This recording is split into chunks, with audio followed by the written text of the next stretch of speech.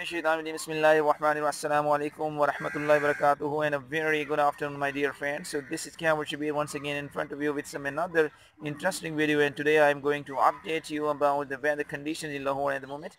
And today is uh, 27th of January 2020 and uh, in Lahore at the moment uh, it's uh, the most of the weather is uh, cloudy and uh, in fact you can see it's rainy weather conditions here any time of the day the rain can uh, really be started over here and today is a great match that is going to be played between Pakistan and Bangladesh in the Gaddafi Stadium of Lahore.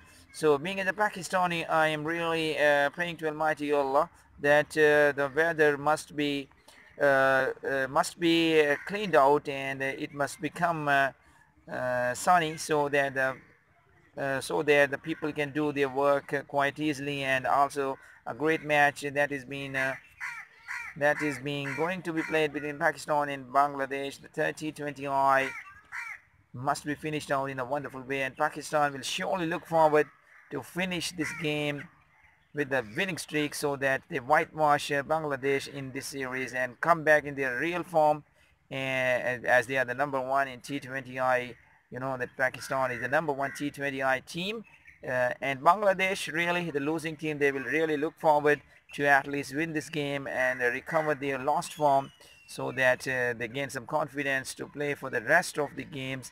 As T20I World Cup is going to be started this year so Pakistan is uh, Pakistani team is really uh, playing the youngsters so that really discover who are the best one and best option for the World Cup.